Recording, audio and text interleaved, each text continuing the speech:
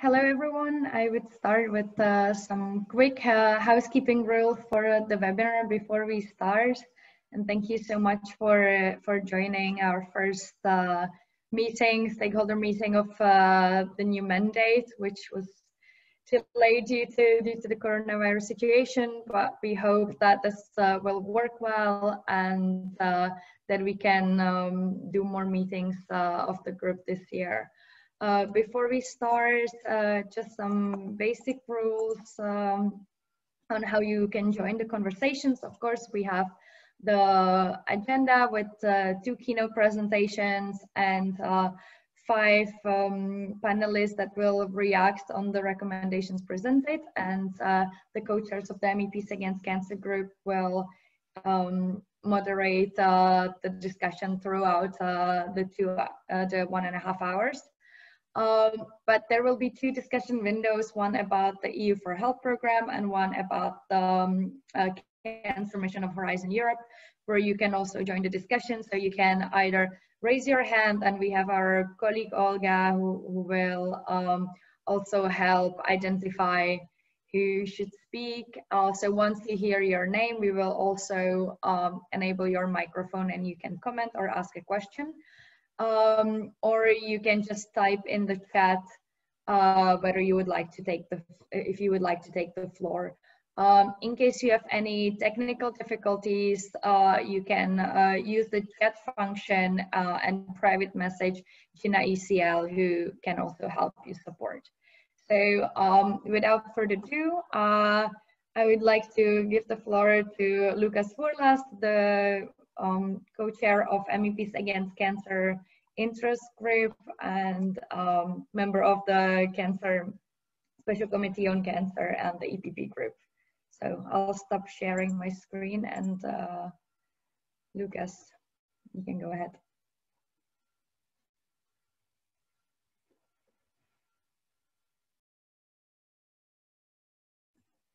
Uh, Loucas, you're you're muted.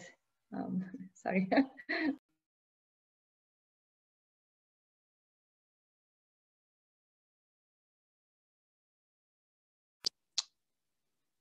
Can you hear me now?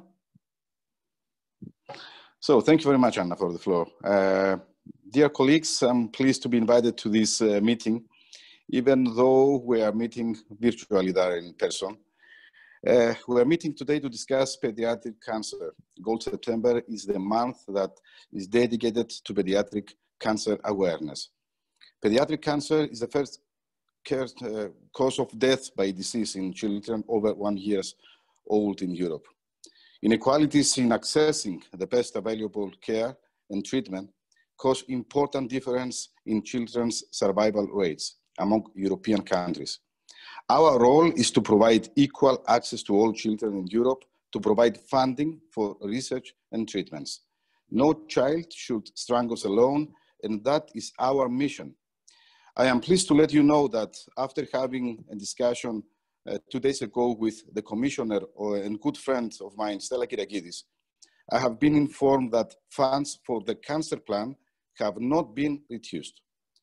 Uh, in addition, we have made huge steps forward with the establishment of the new special committee for cancer, of which I'm, I am a full member. I can assure you that we will be working closely with our group, MEPs Against Cancer, and I'm sure that you are willing to work closely too.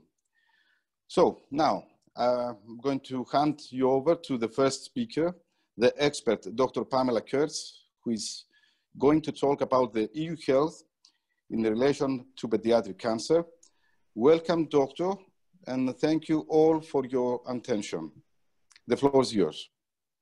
Thank you very much, uh, Loucas, and thank you very much to the MEPs Against Cancer um, for hosting this event, as you say, in September, Childhood Cancer Awareness Month, yes. and in the month of Parliament that has been lit up in gold in honour of the Shine Gold appeal. Um, and I think that is a huge visible recognition of the commitment of the Parliament to childhood cancer. I'm going to try to share my screen. I hope this works.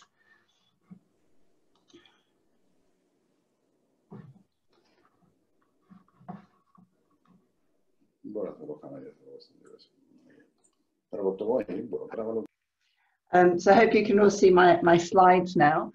Um, what I'd like to walk through over the next 15 minutes is what the EU4Health programme can do for paediatric cancer, where we as a community in paediatric oncology can really see the benefit that could be derived out of the EU4Health programme.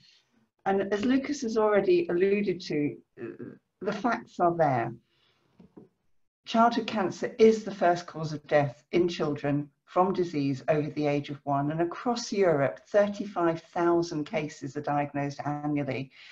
And 6,000 of these young people die every year in Europe still. And of those that survive, over half, 60% of those survivors have life-changing side effects of either their treatment or their disease, which affects how they live their, their adult life. So there's a huge amount of work still to be done to improve the lives of these young people. And it has to be re-emphasized that childhood cancer is not just a mini version of adult cancers. It is a they are cancers that affect a heterogeneous population. The impact on children is different from the impact on teenagers and, and the young people. And the impact is not only on the patients, but also on their families. And they carry that impact across into survivorship. Each individual cancer, and there are over 100 different subtypes of childhood cancer, it is not just one entity, and each individual cancer is rare. It falls into the concept of rare diseases, and each individual cancer is even rarer. So each problem that we have to, to to uh, find a solution for is not just about one cancer, but addressing all these individual cancers and how it impacts on different age groups. And this is defined by the biology of the disease, the clinical presentation, but also importantly, uh, and particularly in the context of the EU for Health, how childhood cancer is treated and the organisational infrastructure for treatment. We have defined four basic unmet needs, and I'm going to go through these in the presentation, but the theme throughout all of them is inequality. There still remains, if you uh, look across the whole of Europe, unacceptable inequalities in outcomes for children with cancer. There is a 20% difference in the survival chances of a child diagnosed in the, towards the east or southern Europe compared to the north and west. And this is due to unequal access to the best available treatment. And I'll come back to what that means in detail. There is still a lack of therapeutic innovation for children. I've been practicing medicine for over 30 years now, and the drugs, the anti-cancer drugs that we use to treat children today are the same ones as when I graduated. And they were all originally developed for the treatment of adult cancers. And in spite of the massive innovation that's been ongoing in the adult cancer world, the last decade has seen only nine new medicines licensed for children with cancer, and that compares to over 150 in the adult cancer world. And just like to remind you that some of those drugs licensed in the adult cancer world could have been relevant to children had they been investigated. We also need to understand that the early phase clinical trial, that early testing ground for new agents, for new innovation, for many children is their second chance of, of life.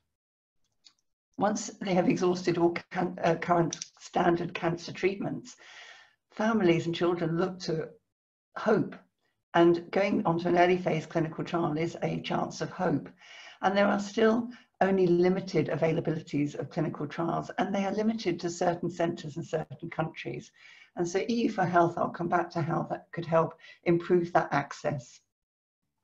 And our half a million paediatric cancer survivors in Europe are underserved. There is a lack of organised surveillance for the long-term side effects across Europe. And again, there is inequality. Some countries have got this very well developed, and in other countries it is barely embryonic. And throughout all this, we need to remember the vulnerabilities of these families. The parental involvement through every aspect of the disease and healthcare needs to be facilitated and improved. And so these are four major areas that we would like to see the EU for Health focus on. And I'm going to give some very concrete suggestions as to how that could be supported. How do we come to this conclusion? Well, it's because we work in a, a very well networked community. SIOP Europe um, is an, a society that represents the healthcare professionals in, who look after children and young people with cancer. And we work closely with Childhood Cancer International Europe, the Parent Patient Organisation, CCI Europe, and PanCare, which is an organisation that looks after the care of survivors, both in research and in healthcare. SIOP Europe represents all the clinical trial groups for all the different diseases across Europe, as well as the national societies for paediatric oncology across Europe. And we have representation in all EU member states and total 36 countries across Europe. And together the leaders, the key opinion leaders across Europe come together under the SIOP Europe Clinical Research Council. And we work closely, as I say, with CCI Europe and PanCare, but also in cooperation with pharmaceutical partners and collaborate on EU projects and platforms. And there's a, a, number of logos there to just demonstrate the many projects that have been supported by Europe that have allowed us to identify the challenges and pro, pro, propose solutions for children with cancer. And I'd just like to highlight a couple of programs that have really developed some of the consensus statements and recommendations that underpin where we feel the EU for Health can help. So going back to uh, the EPAC, the European Partnership Actions Against Cancer, this defined what the essential conditions to deliver optimal services for childhood cancer patients should be. And this was um, followed, uh, associated with the European Guide for National Cancer Control programs that recognized that nationally there needed to be specialized services to support pediatric cancer patients. These consensus statements already exist. And then following this, the Joint Action on Comprehensive Cancer Control defined a European guide on quality improvement, which specifically stated that the long-term follow-up for childhood, adolescents and young adult cancers needed to be implemented on, a, implemented on a specific policy. And in terms of innovation, even more recently, the Work Package 9 of the Innovative Partnerships of Actions Against Cancer, IPAC, specifically stated the, the need to address innovative therapies for children with cancer. The joint action on rare cancer had childhood cancer well within the heart of this, and this has already defined a number of key components to improve the outcomes for children with cancer. Specifically, standard care recommendations for the organisation of radiotherapy services were defined, there was a very important project led by Gilles Vassal, one of our, the previous presidents of SIOP Europe, working in partnership with Young SIOP, our young uh, uh, oncologists of the future, to define the issue of how we access essential medicines for childhood cancer. And just to highlight from that project, they defined six, over 60 drugs that are the essential cancer anti-cancer medicines for childhood cancer and in a survey across Europe identified that less than half of these drugs were available 90% of the time in all childhood cancer treatment centres.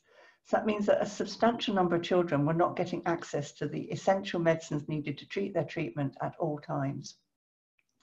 The, the um, Rare Cancer Initiative defined 10 recommendations to address standards of therapy, essential medicines, innovation and survivorship. And the implementation of these recommendations should be within the scope of the EU for Health. They're an important, very well defined and very well researched recommendations to improve the outcomes for childhood cancer. And then finally, it's not just the Commission that has recognised the importance of childhood cancer, but also the Parliament. And the ENVI Committee, in their recent study to strengthen Europe in the fight against cancer, defined a specific chapter on rare cancers and cancers in children. And within the recommendations for childhood cancer, I defined our four recommendations for the scope of the EU for health the, access, the equal access to um, best possible care for children, therapeutic innovation, the needs for survivors, and the rights of children with cancer and their families throughout their treatment pathway. All this underpins um, the work that's been ongoing over the last decade. And when the consultation exercise went out over the EU Beating Cancer Plan, it was notable the number of responses that came from the paediatric oncology community with over 200 responses to this public consultation. I think we all recognise that, that we've reached a really pivotal moment, that there is a huge realistic potential to make change for these children and young people through EU for Health through the Beating Cancer Plan, and of course the EU mission that we'll hear, hear about later on. So in the next four slides, I want to just summarise what where the paediatric oncology community would like to call on EU for Health to invest to make substantial difference. So the first point is in the inequalities issue. The inequalities, as I've mentioned before, are about access to the best clinical practice from diagnosis through treatment, through access to essential medicines to reduce the differences in survival rates. It cannot be acceptable that a child in any part of Europe does not have the equal chance of survival due to the standards of care, access to standards of care.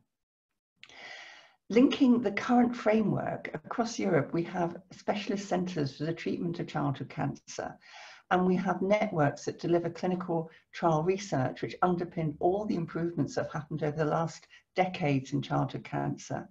And the linkage of these groups was culminated in the European Reference Network for Paediatric Cancer, the ERN PEDCAN. And this was, I think, a pivotal moment in how we could address inequalities across Europe. Having established this network, bringing together the experts and the centres where the expertise needs to be improved, we have a huge opportunity to genuinely address inequalities. The priority is not so much to move the patients, but to move the expertise. It is much better for a patient to be treated closer to home and get the access to the best standards of care at their local treatment centre than to have to move to another country or another centre. And the, net, the ERN PEDCAN have harnessed all the expertise across Europe to make that expertise available. But the sustainability of being able to deliver this across uh, Europe is absolutely essential. And we really call on the EU for Health to be instrumental in ensuring the sustainability. For example, we as a, a community in the ERN are in the process of defining the best standard of care for all the common childhood cancer diseases, which will act as a benchmark for any European country to say this is how any cancer in a child should be treated and we need to make sure that our national services meet these needs and so these are important instruments that the ERN can support. The second uh, pillar of our recommendations for the EU for Health is a medicines innovation. And I'm not so much going to focus on the research for the innovation, but the infrastructure to allow access to this innovation. We are aware that within Europe there is an EU cross-border healthcare directive, but the limitations of the directive are for standard healthcare, and for some treatments, they are only available in the context of a clinical trial and therefore, and this is currently not covered by the, the regulations. The S2 mechanism of reimbursement excludes clinical trials. And we believe that uh, to allow children who have relapsed, who do not have access to any further cure, uh, standard treatment to cure their, their, the malignancy, they need to be able to go to centres of expertise where these very specialist clinical trials are ongoing and allow that to happen under the social security system. So we call on the S2 mechanism for reimbursement to be reconsidered to allow the inclusion of these types of clinical trials. The other area that has been a major focus over the last decade is the EU paediatric regulation. EU paediatric regulation, regulation should have increased the amount of drugs available for childhood cancer, but it has failed in this target. It has been recognised by the recent report from the Paediatric Regulation and Orphan Regulation uh, released by the Commission that this regulation did not address the, the needs for childhood cancer for multiple reasons that we can discuss. But this does need to be urgently changed and new legislation, perhaps in line with the legislation uh, in the US, the Race for Life Act, that can specifically allow early phase trials to be accelerated for childhood cancer and for childhood cancer drugs to be not in competition with the adult market, but to be developed in their own right. And then finally, the, the EU pharmaceutical strategy, which has just been uh, out for consultation, is a huge opportunity to allow accessibility and affordability of the new agents as they come through into the rare pediatric context. So the EU for Health can be an opportunity to support a coordinated action to identify these bottlenecks to access to innovation. And then moving on to survivorship. I have already said that over half a million young people are survivors of childhood cancer across Europe. And we need to address the long-term impact of the disease and also the treatment that are changing the lives of some of these young people. And we need to make sure that the infrastructure is in place to allow them to maximize their opportunities in life. And so there needs to be continuity of care from active treatment, where all the frameworks are there to deliver their treatment, to active follow-up of these survivors. The EU has invested in several research and infrastructure frameworks working with PanCare, SIOP Europe and CCI Europe over the last years to actually look at how this could be delivered. And there is now the Survivorship Passport, which is a project that was led by the University of Genoa in partnership with PanCare and CCI Europe and SIOP Europe, which is a personalized electronic tool to guide health professionals on how to manage these young people.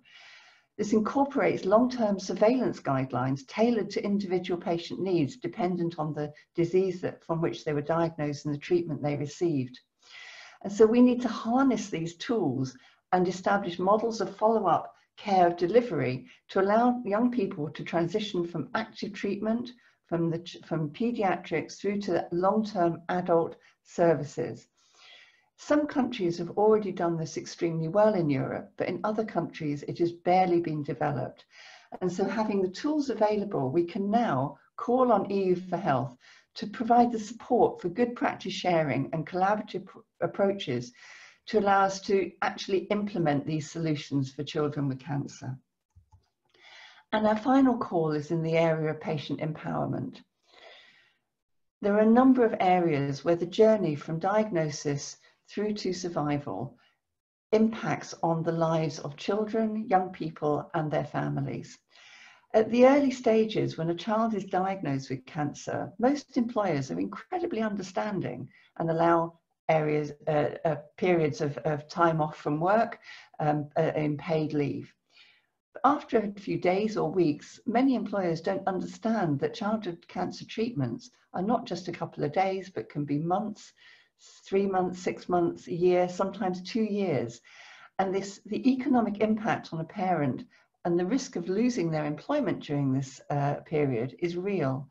And so we want to build on the parental leave directive to facilitate parents to have extended periods of paid leave to support the care of their child during the treatment for cancer.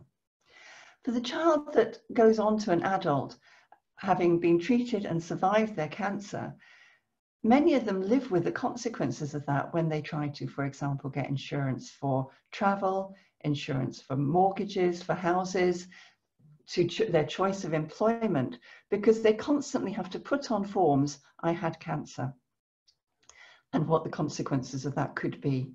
So in some countries, they've implemented the legislation of the right to be forgotten, that you do not have to constantly say, I had cancer as a child.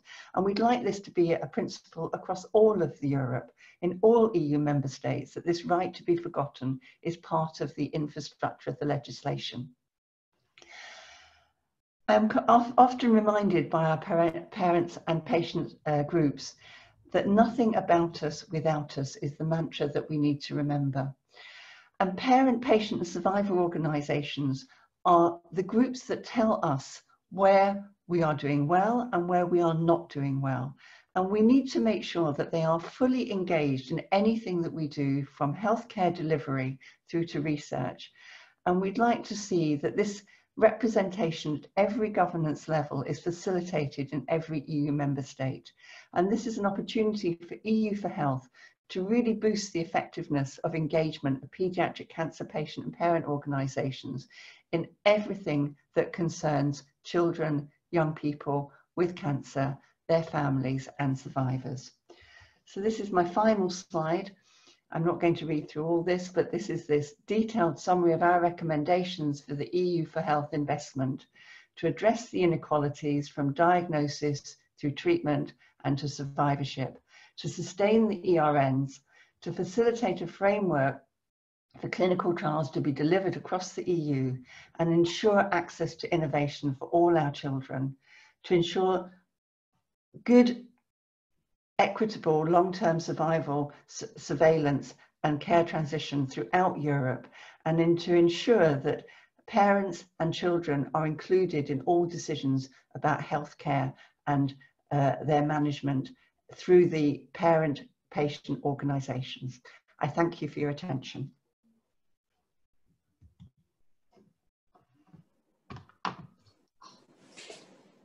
Thank you um, to Prof. Uh, Kearns for that um, uh, presentation and those recommendations at the end.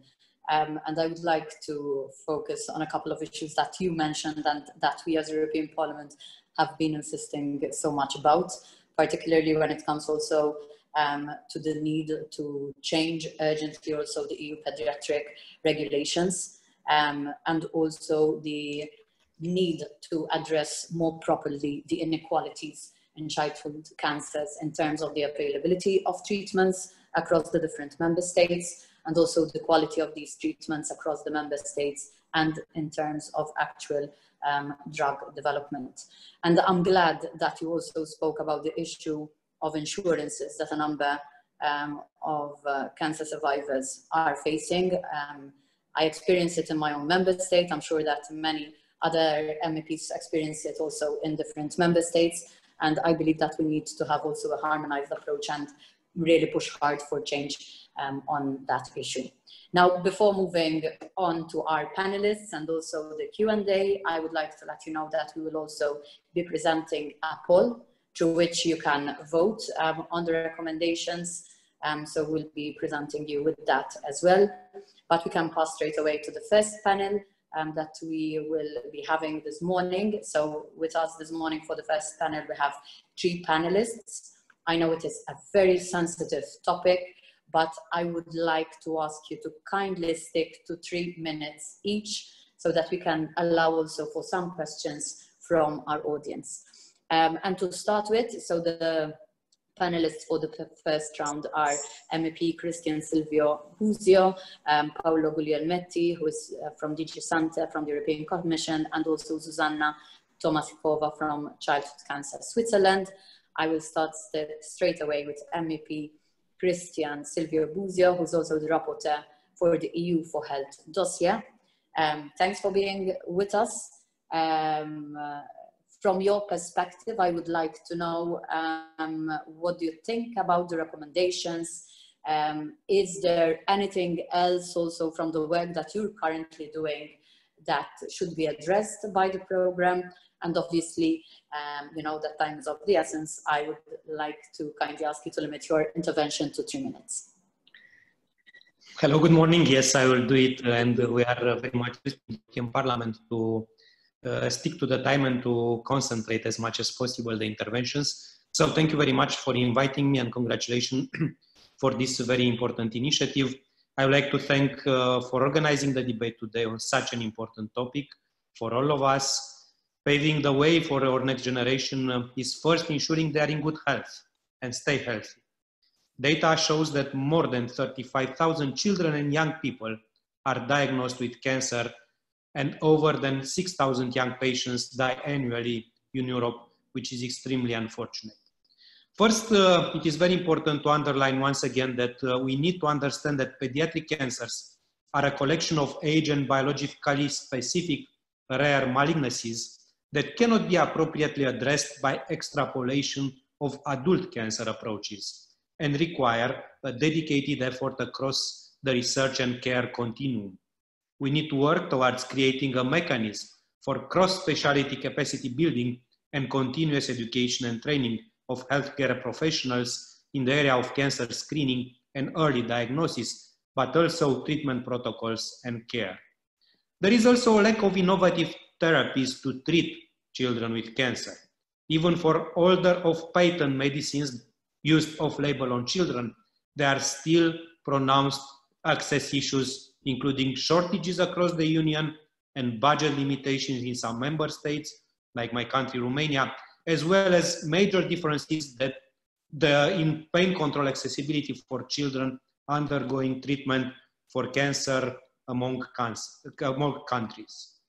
Hence, there is an urgent need to appropriately revise the regulatory environment so that the needs of children and adolescents are met.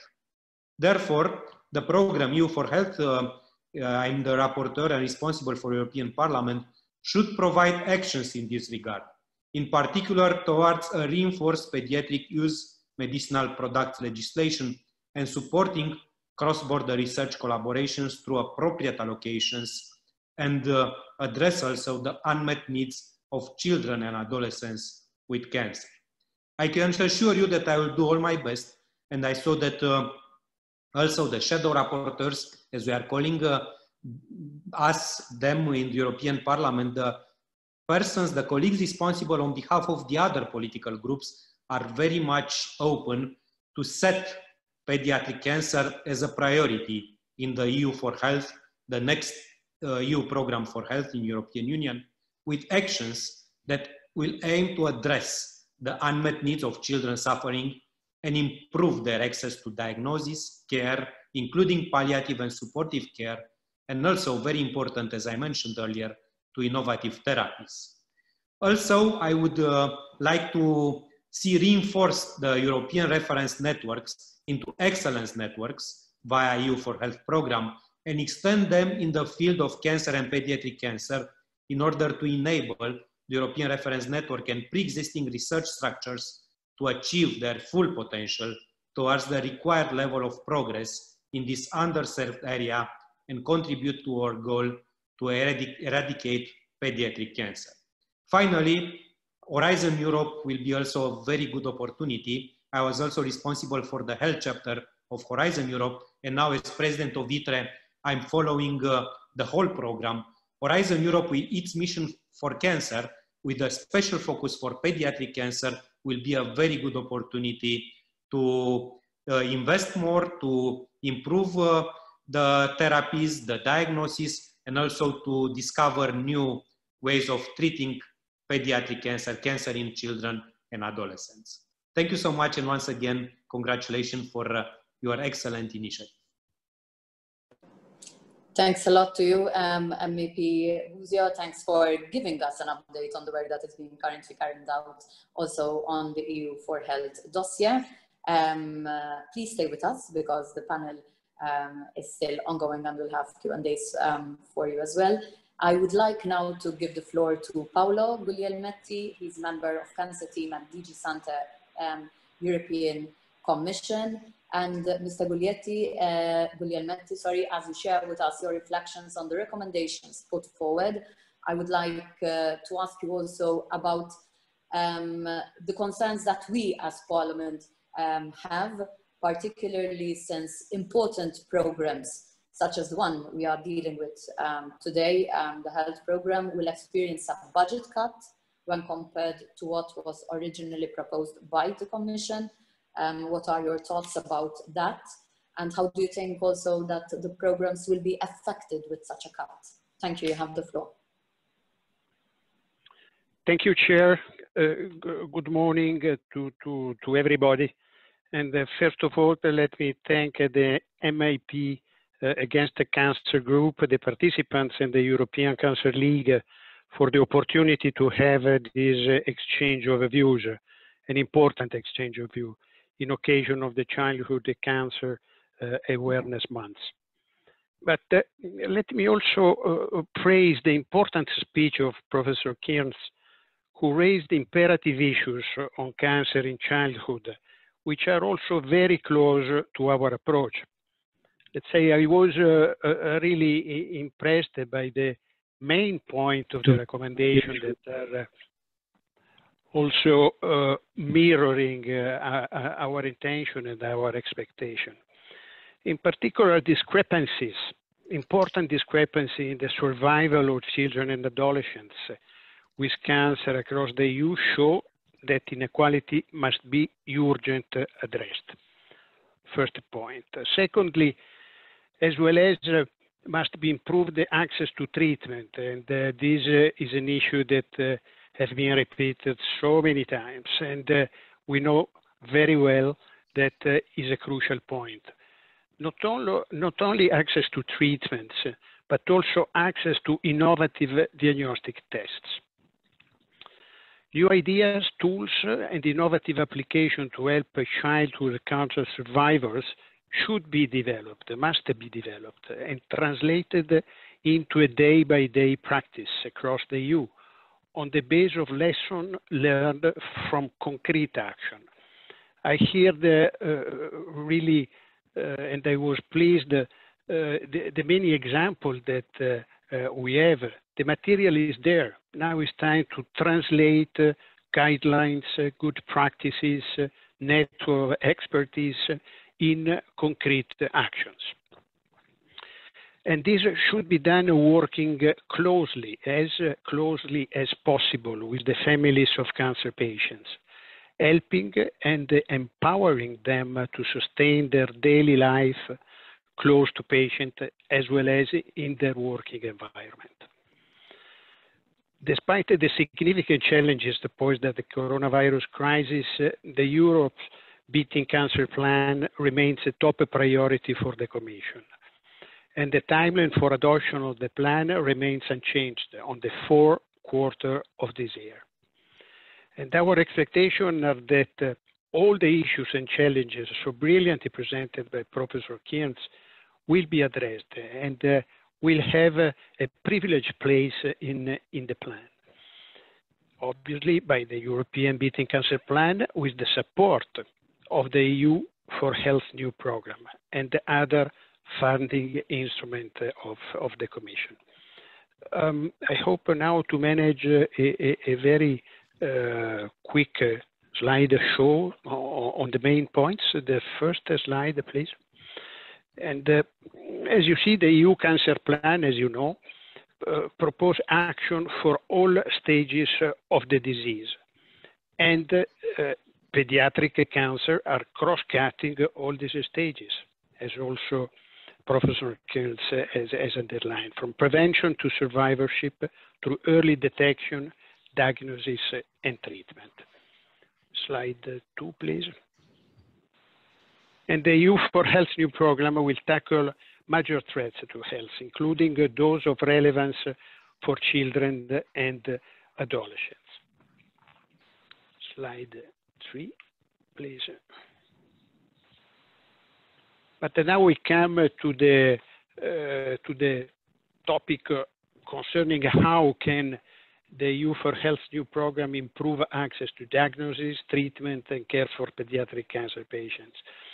I can tell you that there is a strong emphasis on giving relevant support in terms of funding in the program to pediatric cancer, as well as in the cancer plan and following also the logic of the cancer plan that is uh, looking uh, not only to the short and medium term, but uh, to the longer term and sustainability of, of, of, the action. And the work is progressing on developing ideas for spending under the new program also thanks to the open consultation, which has received around 2,400 contributions. Now, we will, of course, continue the stakeholder consultation, and uh, we will focus on pediatric cancer based on the cancer plan. And in the Horizon Europe, there will be investment linked to the cancer mission, and uh, uh as will explain my colleagues from research and, and development. But the exact detail of individual projects cannot be taken for granted at this stage. And once the budget will be fixed, there will be a better understanding of the margin of maneuver to propose potential concrete actions. But uh, as I heard, and as you know, all the elements, all the bricks of this future, uh, let's say, challenge construction are there and uh, ready to be used to uh, decide which activities and projects can be funded. For example, in the area of prevention, uh, through raising the coverage of vaccination against the human papillomavirus and hepatitis B, as well as fighting obesity, and promoting healthy diets and lifestyles through finding innovative way of implementing the European Code Against Cancer that uh, one times more needs to be translated in concrete action. Or through the revision of orphan drugs and pediatric medicine directive, as already mentioned, and the pharma, the pharma package and strategy is due before the end of the year and will be a very powerful instrument to strengthening and to improve the access to treatment and innovative diagnostics. And the use of the European health data space will be very relevant, will provide other possibility, for instance, for cancer registries, for example, and data monitoring, which will be instrumental to follow up of cancer survivors, as also has been spotted out as a, as a priority.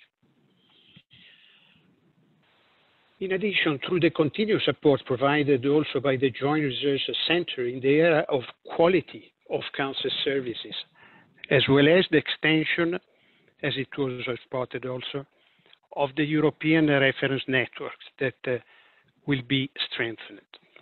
And through potential initiatives to support the quality of life uh, of children and adolescents with cancer, their families, and cancer survivors through federating, for example, there's so many excellent experience and efforts done across the EU. Uh, the, the fourth slide, please. In addition to the EU for Health program, there will be other funding streams. For example, the European Social Fund Plus or the European Regional and Development Fund to improve regional health infrastructure, as has been spotted eh, eh, eh, as, a, as an issue that can help the organization of the treatment of pediatric cancer across the EU. But we need also to know that several initiatives, several other initiatives are already underway, such as the 1 million genome initiative, or the ongoing work of the Commission Joint Research Center to further develop and improve collaboration among European cancer registries, for example, on pediatric cancer. I think it's now time to finish, but it's not a conclusion. As you see, there is an open space waiting not only for new ideas, but uh, for concrete actions. Thank you, um, Mr. Guglielmetti, for your presentation.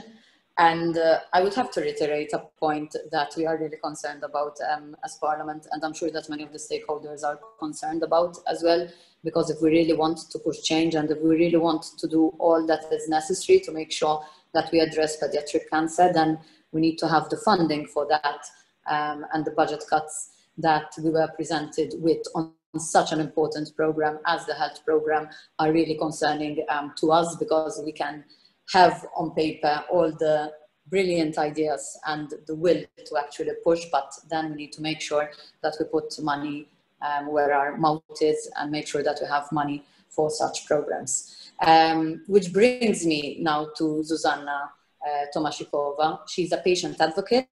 She's a cancer survivor. Um, she's uh, representing Childhood Cancer Switzerland, which represents Childhood Cancer International um, Europe. And in such a panel, it is always extremely important to have the patient's perspective. So Susanna, now the floor is yours. Thank you very much for this kind introduction and the opportunity to represent Childhood Cancer International Europe in this meeting. Childhood Cancer International Europe, CCI Europe reunites childhood cancer parents and survivors organization in Europe, which are meanwhile 65 organizations in 32 European countries. And the aim is to help children and adolescents to be cured with no or as few as possible long-term health problems. As an active member of CCI Europe, I do extensively support the recommendation presented by Professor Pamela Kearns. Additionally, I would like to emphasize the important role of parents and survivor organization in general. These NGOs provide vital and comprehensive support for young patients and their families.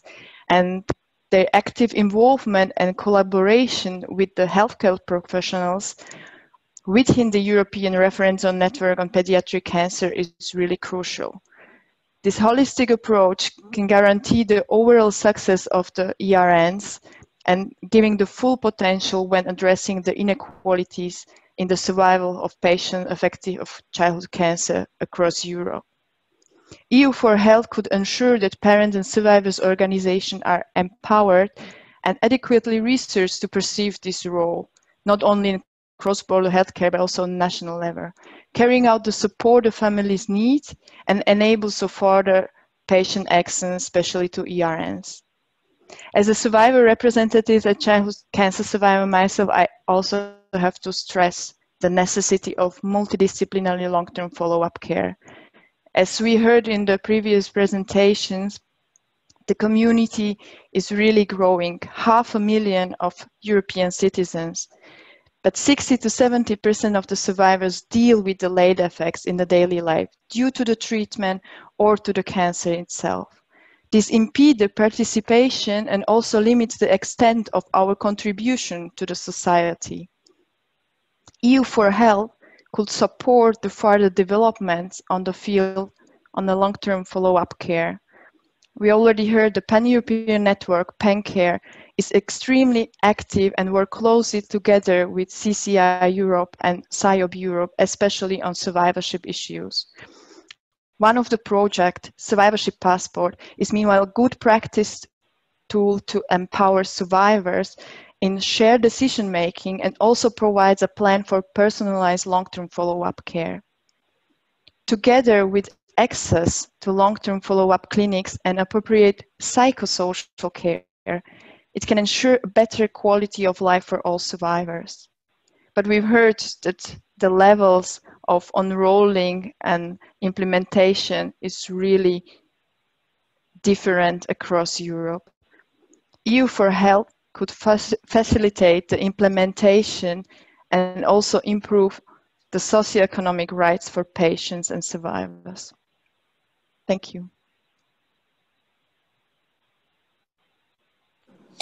Thank you, um, dear Susanna, for that insight from the patient's perspective um, as well. I would like now to ask all the attendees to please uh, let us know if you have any questions that you would like um, to share with us. I'm seeing um, a couple of questions that we can um, come to straight away. Um, again, I would like to remind everyone about the poll um, which you can access by logging into slido.com with the hashtag shine gold. So hashtag shine gold. Um, you can join um, also our poll um, by going there, slido.com, hashtag Shine Gold, where we are asking you which of the presented recommendations should receive the highest priority in the EU for Health program. And we are giving you the options, including foster improved access to innovative therapies, um, address inequalities in the survival of children and adolescents with cancer, um, whether you prefer to facilitate the rollout of long-term surveillance and care transition or foster sustained livelihood for parents with children with cancer. Again, join us there on slido.com, hashtag shine gold. We have also um, a barcode that you can scan and access um, the poll, which would make life easier um, for everyone. So let's have a quick look at the questions which you are directing to our panelists. I remind you once again that with us we have MEP Busoi, um, who is the rapporteur for the EU for Health program, Mr. Paolo Guglielmetti, who is from the European Commission, and also Susanna Tomášiková, who is a patient survivor. Um, I know that uh, Professor Pam Kearns uh, made her own recommendations in the beginning, and our panelists referred to those recommendations, which we find extremely helpful. Um, if I can ask Professor Kearns um, your first thoughts after hearing the panelists, um, if what you heard today confirms what you have been working on, um, and if you believe that the recommendations presented can actually address the issues that our panelists um, uh, presented um, just now. Thank, thank you, Miriam. Uh, I was really um, heartened to hear the comments by all the discussants. Uh, it's very clear to see the message of the needs of childhood cancer and for the um, young people and survivors it is really landing uh, uh with, with the MEPs and with the Commission. Um, our recommendations, uh, I noticed in the Slido that people are being asked to put a priority. I think the difficulty with prioritizing them is that they are all interlinked. Um, you know, I think the, the one that is coming out as most popular is the addressing the inequalities of survival of childhood cancer. But those inequalities go right the way through. I, I, um, I think one of the discussants made the point that it's not just about treatment, it's diagnostics and right through to survivorship. So I think with the, the, the comments that are made about the different ways, the different instruments that could allow these changes to be facilitated by EU for Health, have to be integrated so that it isn't just one part of it that's addressed, it all needs to be addressed. And, and the, um, the point made by Susanna about the absolute importance of the survivors, the patients, the, uh, the, the families, and those parent organize those organizations being at the heart of what we do is critical because uh, in every uh, area of research that I, in which I'm engaged, the people we go to for the best advice are the families. You know, we can go for the peer review to the clever scientists, but the questions that we need to answer, and this is true of changing healthcare policy, we need to answer the needs of the people that we're trying to treat. And so they're the people who are at the center of this. And I, I think that was very well stated by Susanna. But I, I really welcome the positive uh, response from, from, from the MEPs and from the Commission to say how we can genuinely use EU for Health putting a pediatric cancer track in, in, in every different aspect of it that is tailored for the needs of childhood cancer is very, very reassuring. If I may intervene uh, for a second, uh, well, uh, you know that uh, initially we had a health program which was more or less the same as it happened in the past. Of course, it was welcomed, but was far from uh, our ambitious and from citizens' expectations. And anyway, it was not a separate program as part of ESF Plus. And during the last mandate, uh, I tried, but with no success, to, to have a separate program. Then COVID, COVID crisis came, and uh, uh, beside many very negative aspects, the loss of lives, the problems of economies, the problems with uh, all the other patients, including cancer patients, which do not have now the appropriate care because uh, of the COVID, because of the lack of resources in hospitals because of the fear of being infected.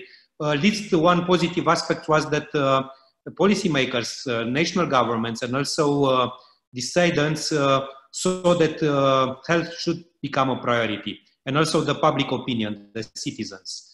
And the European Commission came with a very ambitious program, 9.4 billions, and a separate program. Then we had the summit of head of states and governments, and uh, some compromises had to be done.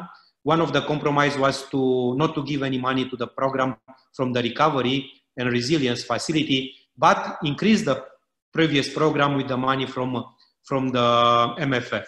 And now we have a, a program with much more ambitious ambitions than uh, in the past and with much more expectations. I discussed with uh, Mr. Spahn, uh, the German Minister for Health, because we have the German presidency, I discussed with my colleagues from European Parliament, and we have to settle some priorities. So EU for Health should be a program which is not just the continuation of the previous programs, but much more, more ambitious, with more targets, with uh, better objectives, and with uh, better results. And I can assure you that cancer will be a priority. So this program will be a strong support for EU beating cancer plan of uh, uh, European Commission of uh, President von der Leyen Commissioner Kyriakides, and of course, pediatric cancer will have a special focus. What we do now in the parliament is to settle these priorities, and please, uh, I uh, uh make an appeal to the panelists and colleagues to look uh, now to the legislative text.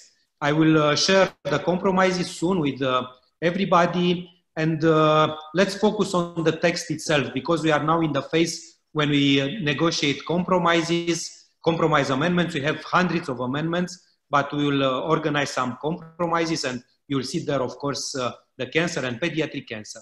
And then, of course, we have to lobby European Commission, and it's important that we have now the representative of the European Commission uh, when they will establish uh, the working program for each year to see exactly what uh, we want to achieve in the concrete actions. Because in the parliament we settle the priorities, but then the implementation will be at the European Commission. So in order to be efficient, uh, we have to implement the good principles and the good objectives that we are setting together into actions. And we have to, to, be, to stay in close contact together and uh, be very, very uh, involved in order to see everything done. Thank you um, uh, to MEP Busoi as well and Prof. About that. Uh, I would like to give the floor now to Gilles Vassal, uh, board member from SIOP Europe. I know that there is a question. Um, Gilles, you have the floor.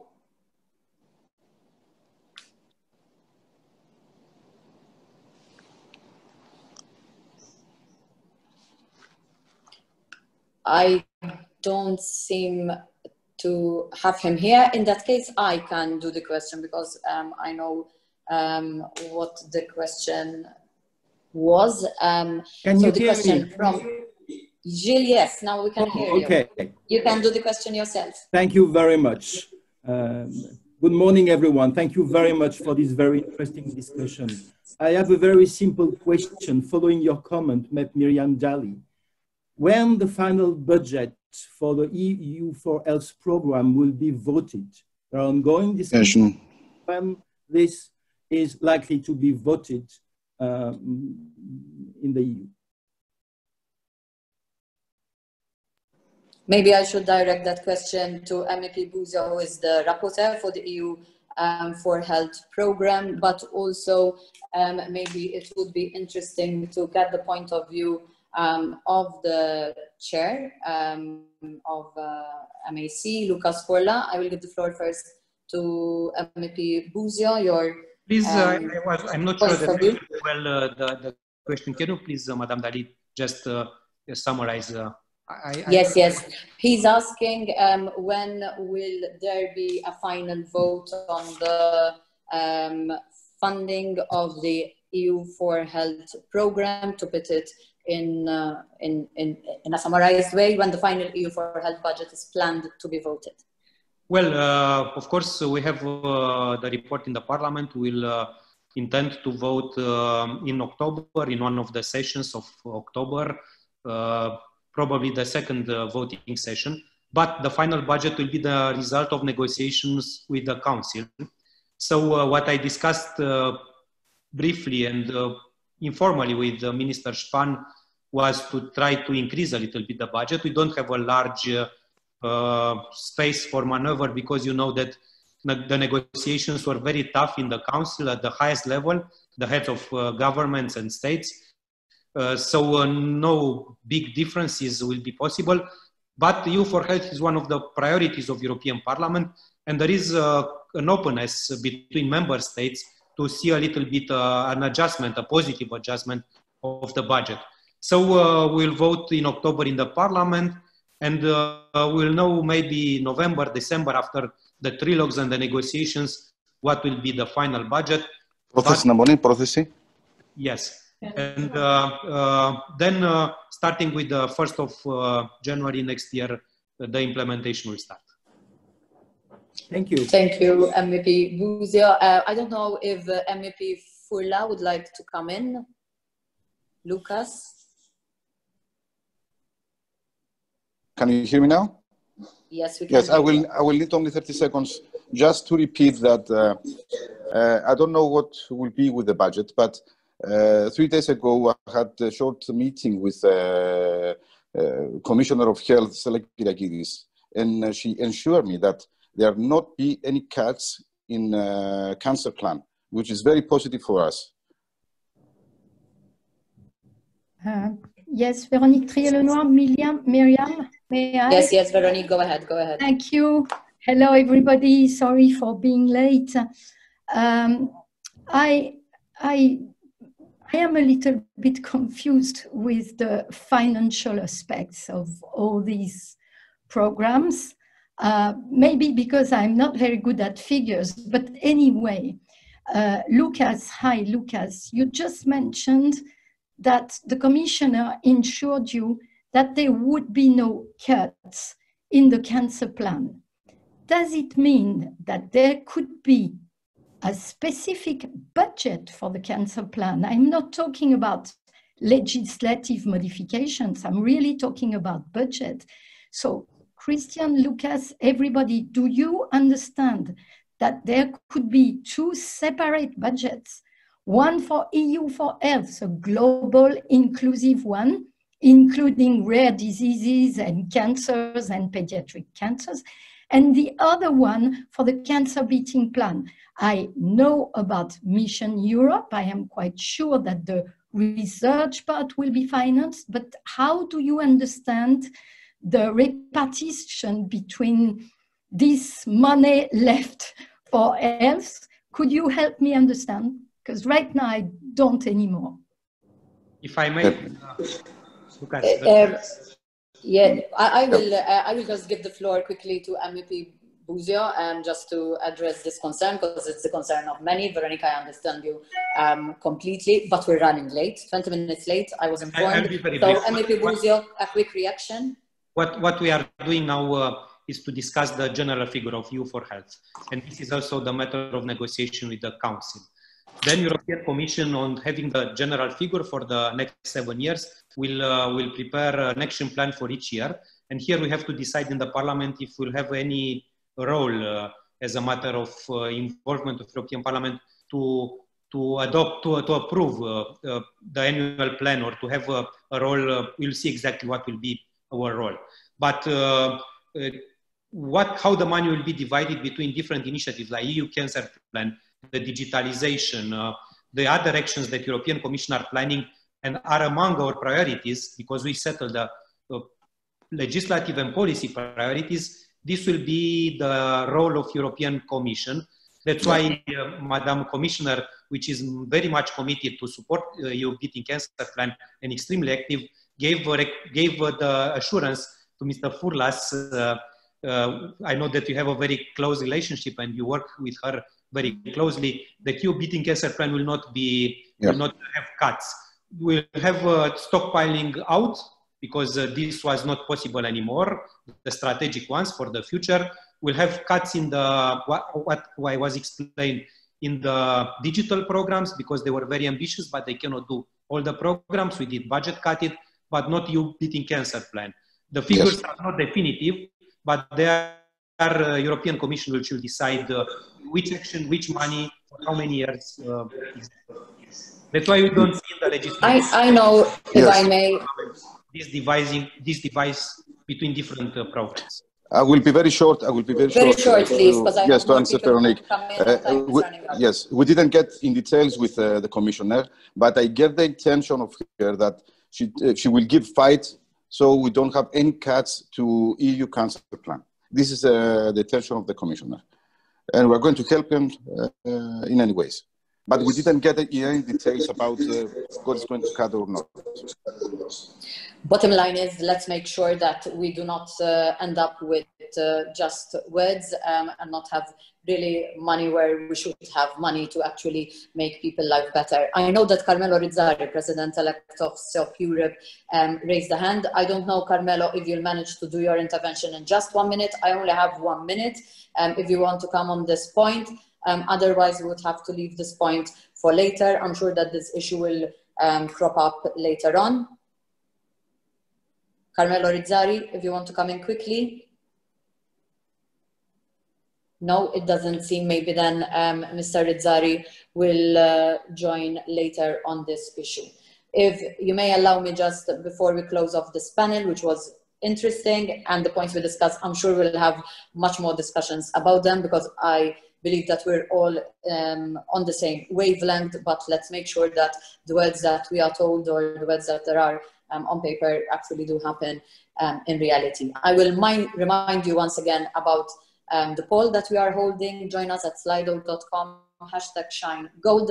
Um, currently, the foster improved access to innovative therapies is the most recommendation that people are giving its highest priority. Um, second to that is address inequalities in the survival of children and adolescents with cancer. Thank you for this opportunity to moderate this um, first panel. I will pass on the floor straight away to Professor Christine Chomienne, Vice Chair of the Cancer Mission Board of Horizon um, Europe. You have the floor um, and thank you once again for your interventions. Thank you very much, Miriam. Uh, thank you, everybody uh, listening in. Thank you, of course, uh, to the MEPs Against Cancer, Veronique, Loucas, for uh, giving us all the opportunity to exchange on this uh, very important subject of pediatric cancer. Uh, on behalf of the Mission Board on Cancer, I will rapidly highlight our role and our work so far and of course to dwell more specifically uh, on the work that we have done addressing uh, today's uh, topic. So I'll try and get all this working, share my slide. Right, this should be working, right.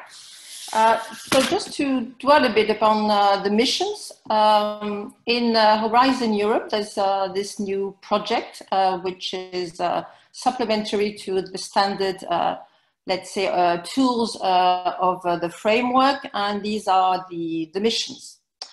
Uh, there's quite a number of reports and studies which have been published since 2018, which have described the mission-oriented research and innovation approach that has been added in Horizon Europe.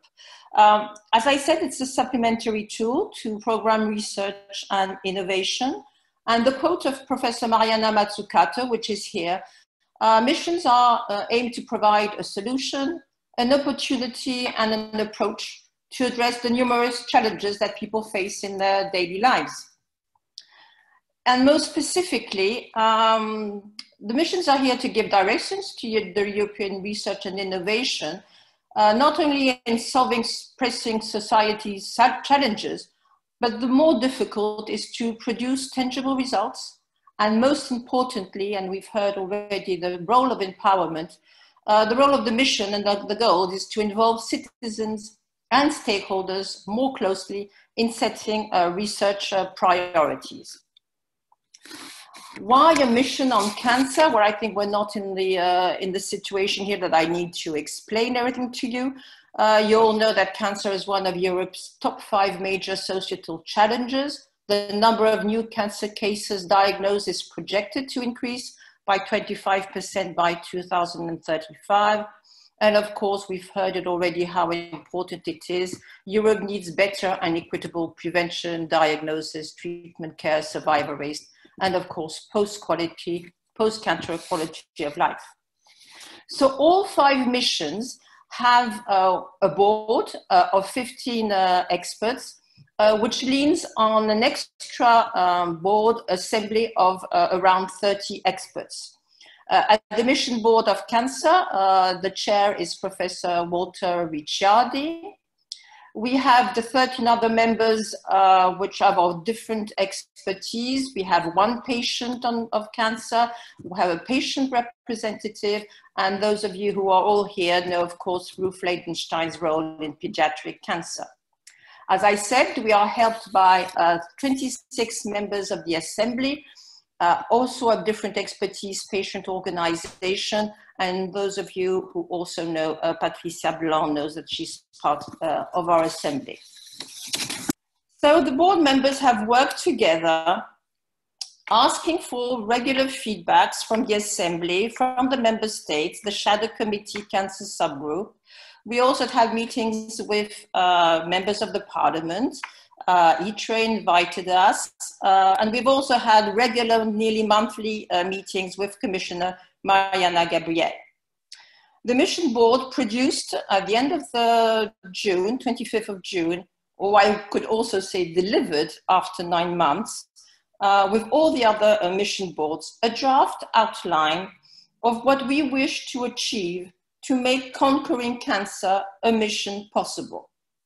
So in line with the mission approach criteria, we have set a specific target, which is by 2013 to have more than 3 million lives saved, but also living longer and better. To reach the targets, we have identified five intervention areas, prevention, diagnosis and treatment, quality of life. And you can see in the diagram, which represents something which could look like, I don't know, a, a Greek theater, excuse me, all the Greek participants. Um, the, it's important that we have, uh, let's say, a common uh, floor, which is understanding, which will help to uh, move forward in the three pillars, prevention, diagnosis and treatment, and quality of life. And we also have added a roof, which is uh, throughout the, uh, the three, of course, pillars, is uh, equitable access to all.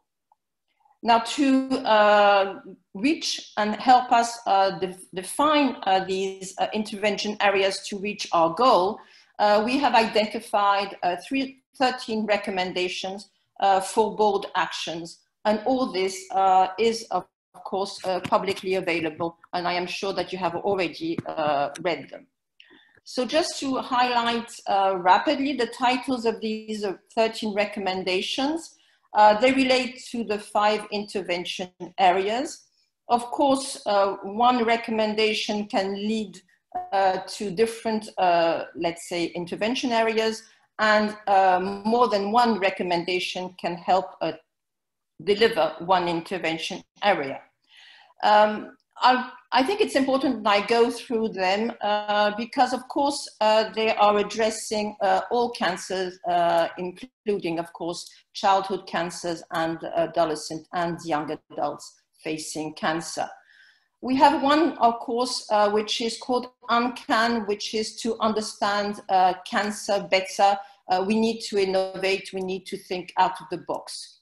This would be a European platform gathering the existing information and spurring uh, interdisciplinary research.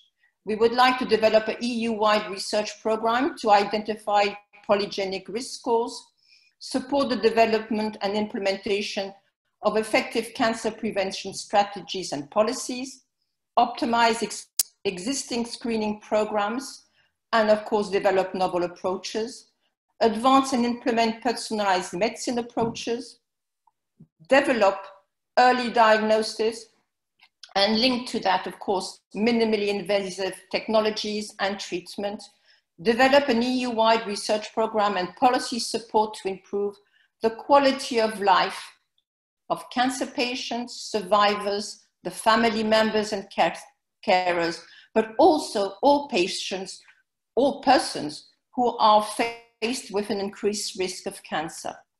Create a European Cancer Patient Digital Center where cancer patients and survivors can deposit and share their data, know where they can find their data, but also where they can find information uh, to monitor their health, and if they wish, the possibility to share their data.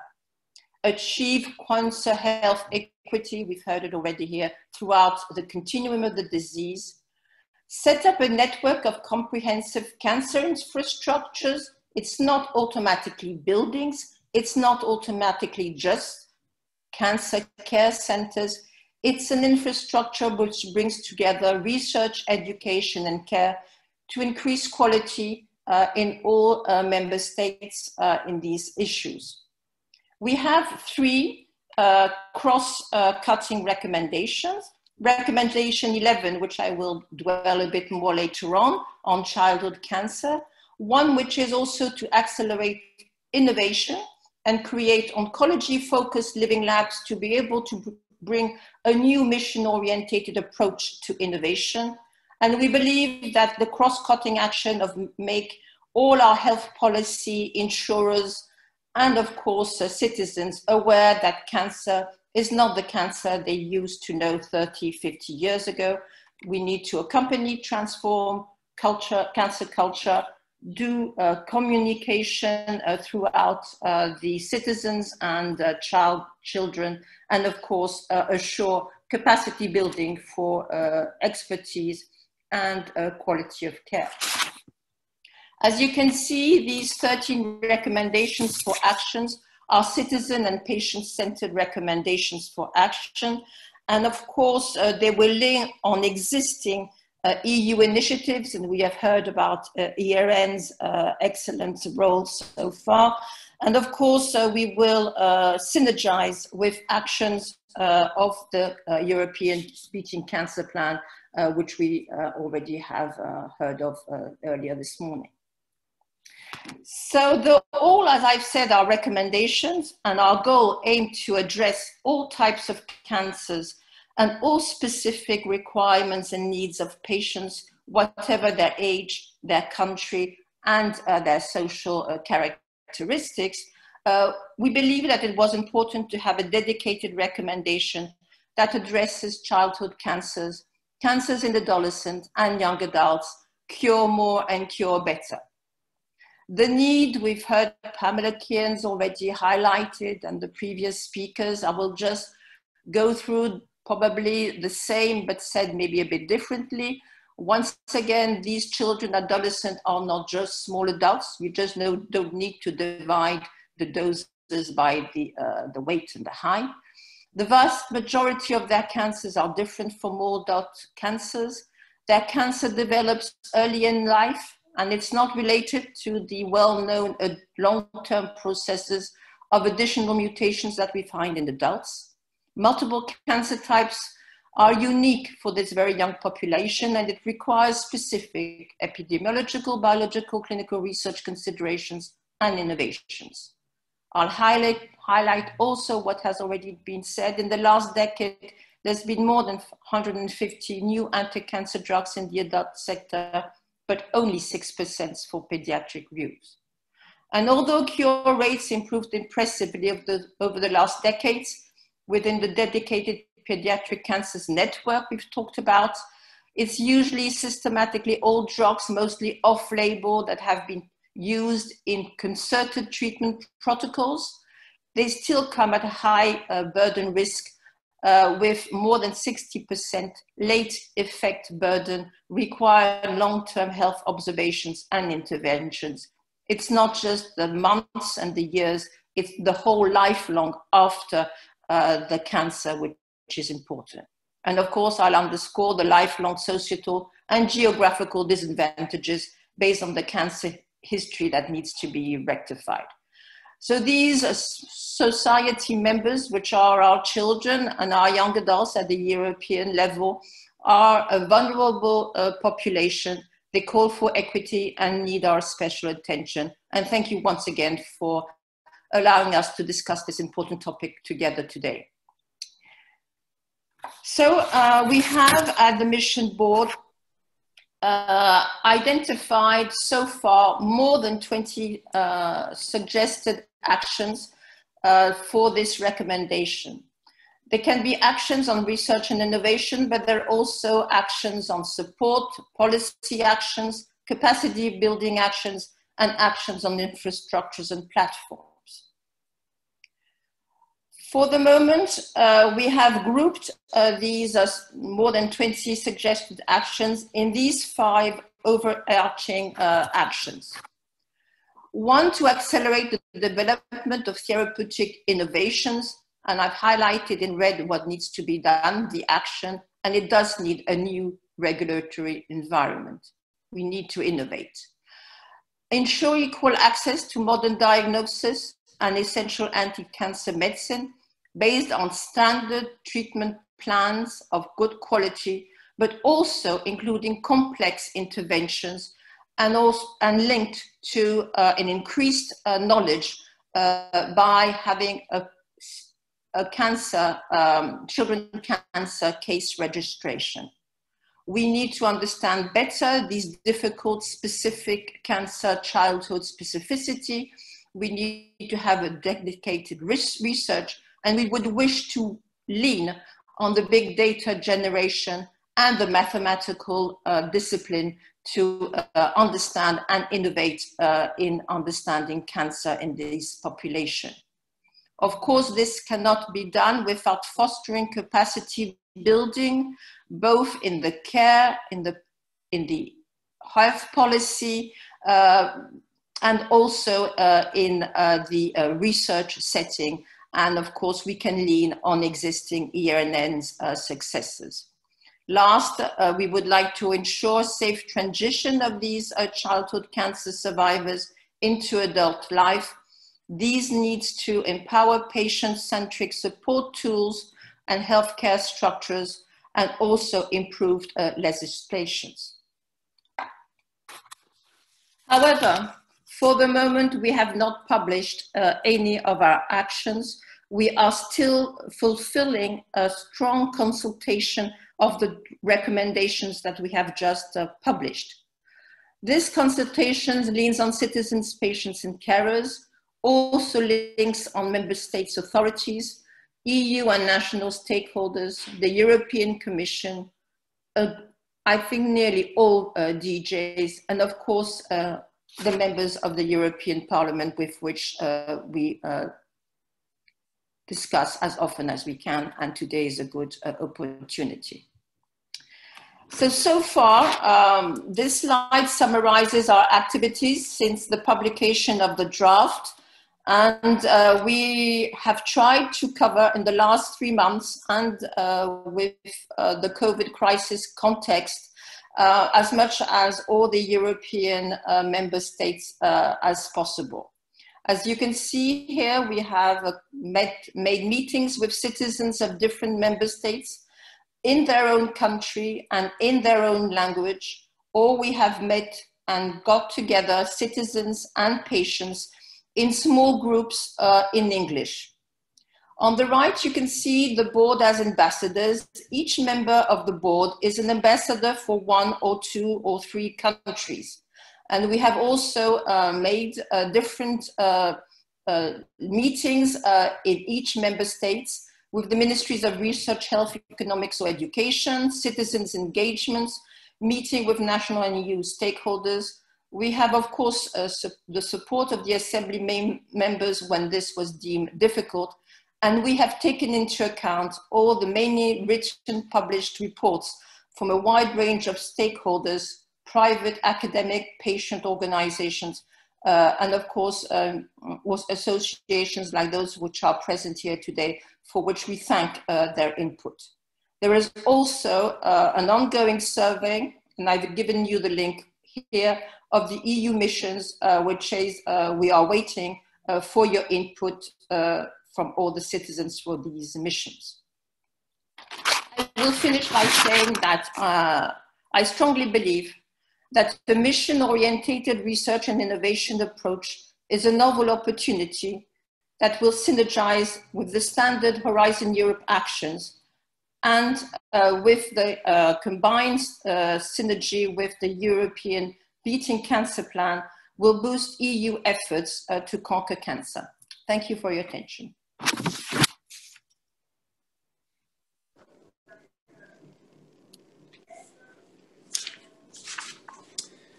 Thank you, um, Professor uh, Chomienne. Uh, um, I'm Petra de Sutter, and I'm very happy to be able to moderate this uh, second session.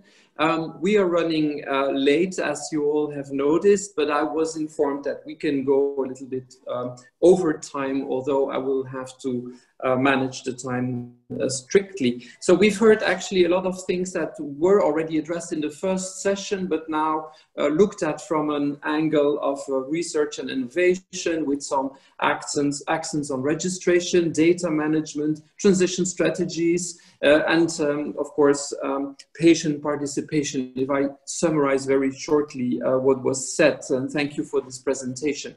In our panel today, we have two participants. We do not have someone, someone representing the Commission, unfortunately. Um, that person could not make it. But we have um, a member of parliament, uh, Maria Spyraki from EPP, a Greek member, who is also a member of ITRE, of course, the committee responsible for research and innovation, and Angelo Ricci, president of the Italian Parents Association, also a member of Childhood Cancer International Europe um, as Zuzana before. So these two uh, uh, persons will now uh, make their statements. I really have to ask you to stick to uh, three minutes, you will understand, to have some time for discussion afterwards. Maria, the floor is yours, please.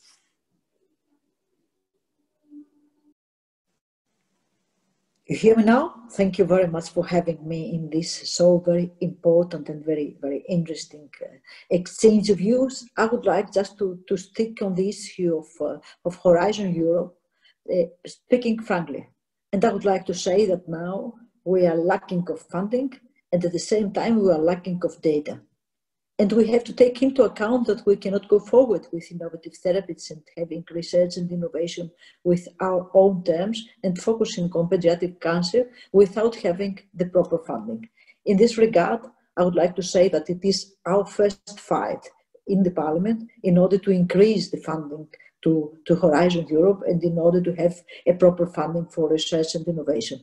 And of course, concerning pediatric cancer, it is important to exploit the artificial intelligence potential for pediatric cancers to gain new insights in pediatric cancer genesis, development, and cure.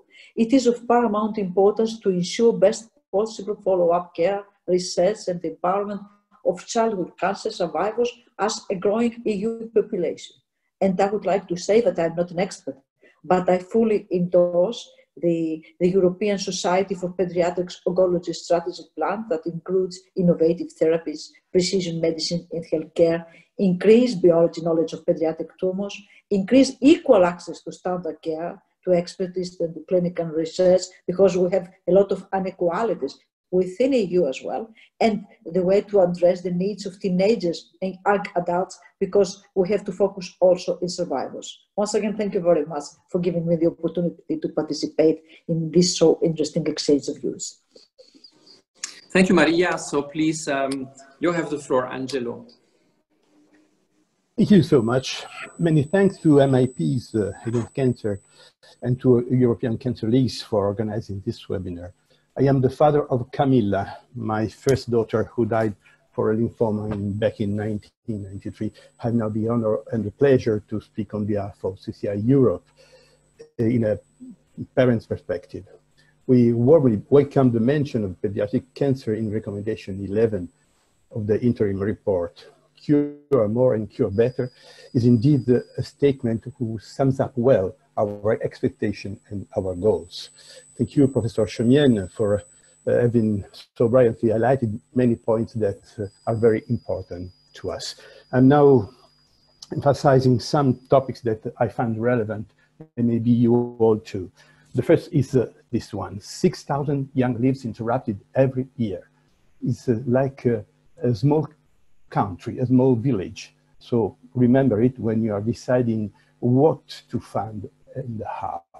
The second, as you know, uh, a very large part of drugs used in pediatric oncology is has been developed and licensed for adults. But as we have heard, children are not miniature adults. You can't just reduce doses proportionally.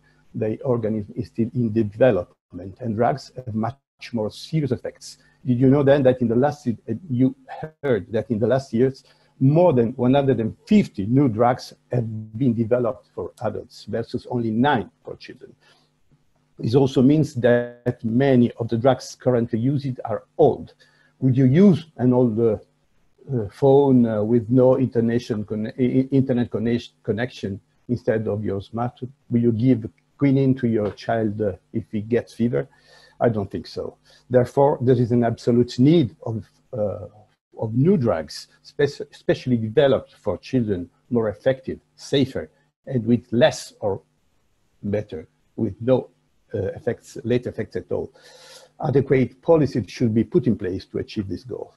About side effects, we, uh, we heard that, uh, uh, that we know about losing hair, and these moves are our heart, but what we do not, many do not know is that the toxicity of drugs and treatments may cause serious late effects. Two-thirds of pediatric cancer survivors risk to develop a second tumor or other life-threatening diseases and will experience a lower quality of life than their peer. Only by setting up long-term follow-up uh, protocols, hopefully adopting the mentioned uh, survivorship passport, it will be possible to prevent the onset of this disease. I go finishing. Once I heard childhood cancer described as a tsunami. The image gives us a good description of what happens in a family when a child is diagnosed with cancer. We can say that all the family gets sick. Moreover, the disease can generate poverty. One of the parents, if not both of them, risk losing his job. Sometimes it's necessary to move for treatment and the family splits up. There are psychological and consequences for all me family members and especially for the most fragile ones, the children. It is therefore necessary that policies are implemented in all member states to support and protect the family during illness and possibly afterward, especially in case of grieving family. I'm finishing. Time for recommendation is now over, It's now time for action. Horizon Europe can really improve access to quality diagnosis, treatment and care for pediatric cancer patients. You, you, MEPs against cancer, can make really a difference and contribute to, to a significant progress in pediatric oncology throughout Europe in its various aspects, research, treatment, care, social support. We are counting on you to ensure that, as a recommendation number 11 states, children and adolescents with cancer will be cured more and cured better.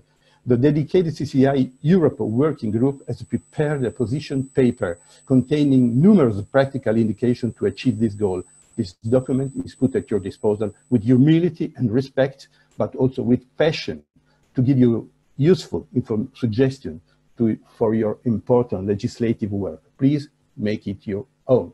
Thank you so much. Thank you, Angelo, for yeah, um, telling us what it is really um, about um, very concretely. Thank you. Um, I can uh, give uh, the floor to people wanting to ask questions. I am informed that there is also here uh, on Slido a poll uh, to uh, to be uh, to be taken. So please, um, you are invited to do so, and we will then at the end discuss the results. Um, on Slido as well, there were already two questions that were not addressed yet, and I think one was definitely um, touching upon what, um, what was uh, discussed by Angelo about the psychological support of parents and caregivers of child patients or pediatric supportive and palliative care even.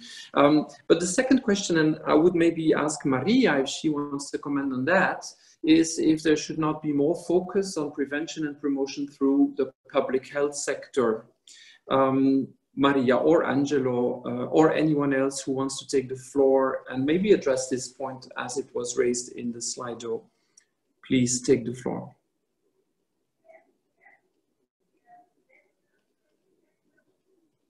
Or, um, of course, Pamela, yes, um, you are absolutely invited to take the floor if you want to address this.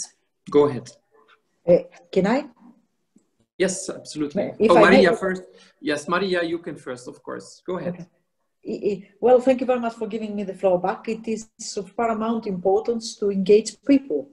And I think this is the case for us, as well as uh, to, to increase funding and to support the, the, uh, the way that we can tackle pediatric cancer and starting by engaging people, it is important to, to, to, to, to, take people on board in our, in our communication strategy as members of the, of the, of the, of the, of the Committee of Europe Beating Cancer. It is important to explain to our constituencies, to our, to our member states, that we have uh, to have all the, the available data uh, on board in order to have uh, to, to, to support the, the, the innovation and in order to have innovative treatments and at the same time, it is important to say that there are a lot of parliaments, uh, a lot of aspects that they are uh, that they that they are having uh, a, a, way of, of, influence at the child's life. And it is not only the way that the, the, the, child is, is raising, it is also the environment, the quality of the air, the quality of the food, the everyday life uh, and, the, and sports, and etc. So I, I would like to say that we have a very first duty, and it is to explain to the people that it is not something that it happens once in a million. It is something that has happened at the next door. And we have to consider that we have to support all these people by giving them all the, the, the available facilities, all the available instruments that we have. Thank you, Maria. Um, Professor Kearns, you uh, have the floor, please. Thank you. I just um, to comment on this particular question. I absolutely agree that we need to increase public awareness. Um, the majority of the average population do not know that children get cancer, and it's a shock to every parent who gets that diagnosis that their child could ever suffer from such a disease. And it is even important in the medical profession. Um, the, the average general practitioner probably sees one child with cancer in their entire career, and there's a huge risk that they may not recognize the symptoms because the symptoms are very soft, and therefore the awareness that this is a possibility in order to get early diagnosis is really important.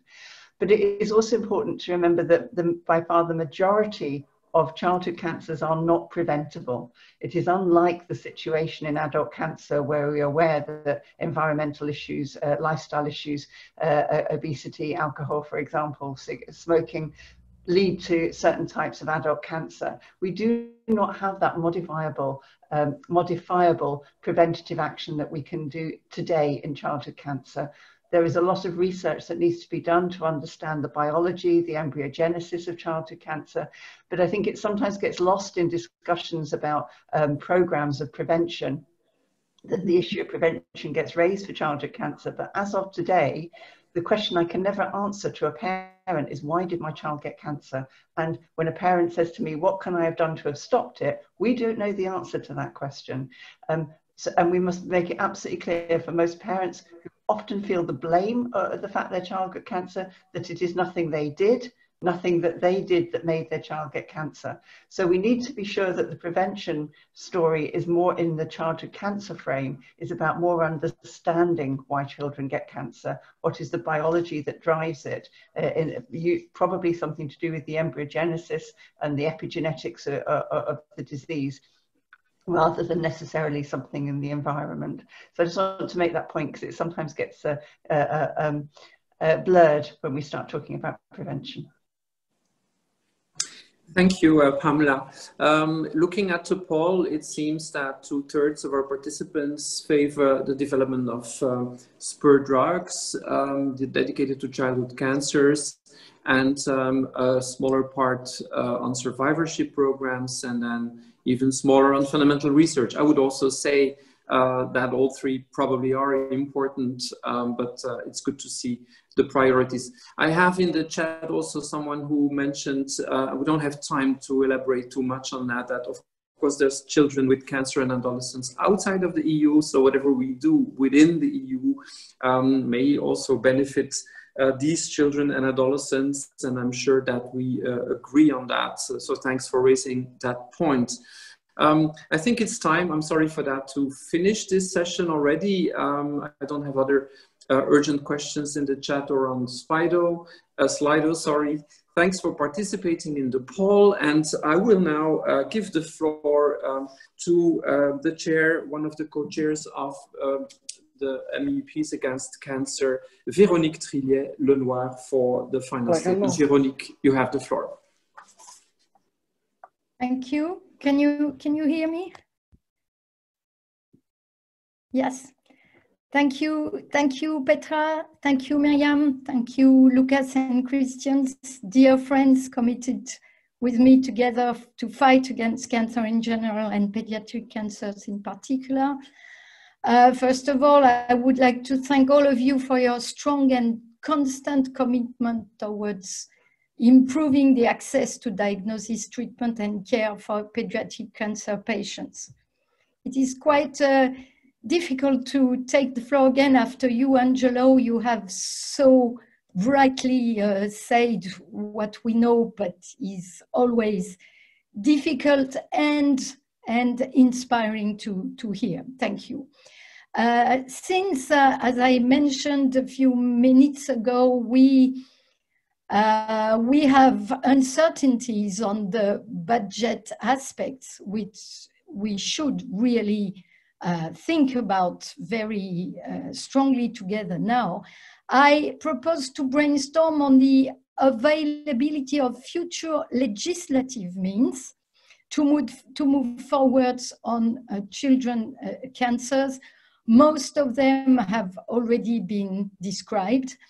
Uh, the main one is research. Uh, thank you, uh, my dear friend Christine, for having uh, said very strongly again that recommendation 11 of the cancer mission of Horizon Europe will be followed. I am convinced that the mission will also integrate new technologies among which uh, intelli uh, artificial intelligence, causes, treatments, but also the social aspects to this approach, and I will come back to it uh, later. I suggest that we should discuss on three main other tracks. The first one, you mentioned it uh, very often, is the opportunity on pediatric cancer drugs. Despite the EU pediatric medicines regulations 13 years ago, uh, less than 10% of children in advanced phase, phase have access to new drugs. And as you said, Angelo, only seven or maybe nine innovative targeted anti-cancer drugs were authorized for pediatric malignancies. We should take the opportunity of the EP resolution on December 2016 and the declaration of Stella Kyriakides to push for a revision of the regulation. The future Europe Beating Cancer Plan and pharmaceutical strategy for Europe should help us help us to guarantee the access to innovative drugs, to determine the most important drugs to respond the needs of the children, to reduce the delays for pediatric medicines to reach children, and to tackle the limited access to some essential medicines due to drug shortages or the high price of innovation of innovative medicine. Point number two, at the same time, we should also improve the current European legislation to guarantee an uh, equal access across Europe to standard care, expertise, and clinical research. And as already said by Cristian, and we share this point, we should ensure the extension of European reference networks to reduce inequalities in access across Europe and even beyond. We should evaluate if needed to reinforce the children's right to cross-border care. I know that Loucas is uh, very keen on that one.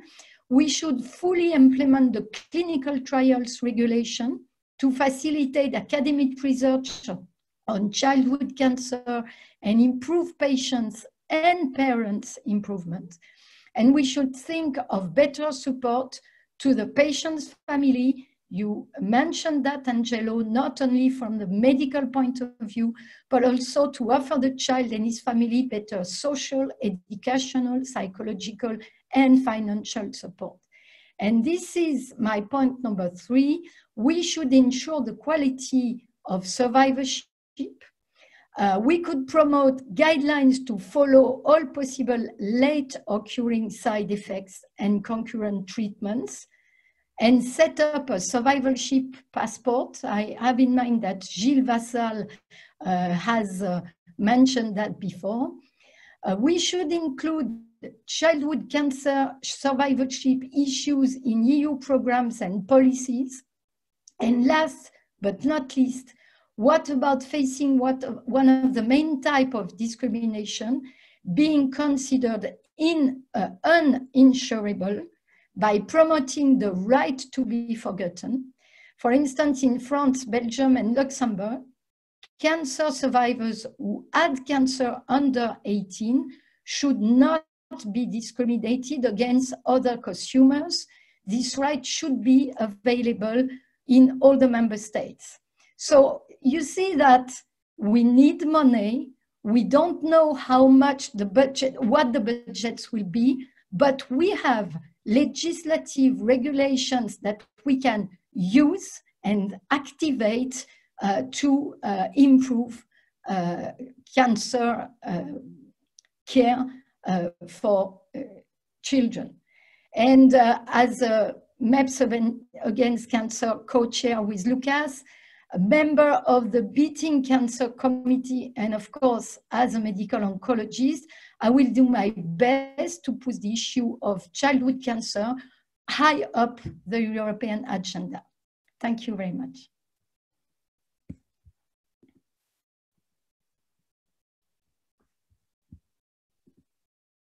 Great. Thank you very much, Veronique, and thank you for everyone uh, who participated. And we will be in touch with the recording uh, of this webinar and the presentations and uh, also with a report uh, summarizing the discussions and, and key points mentioned today. And we'll try to make sure that MEPs Against yeah. Cancer and the Cancer Committee work together on this issue. Thank you so much again, everyone.